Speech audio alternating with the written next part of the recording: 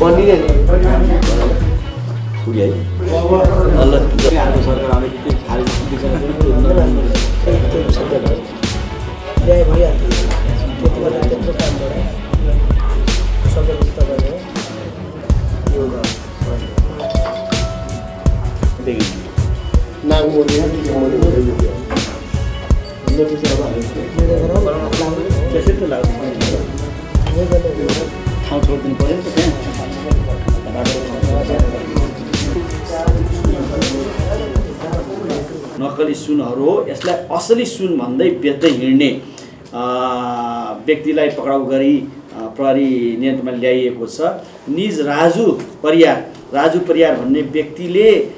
केही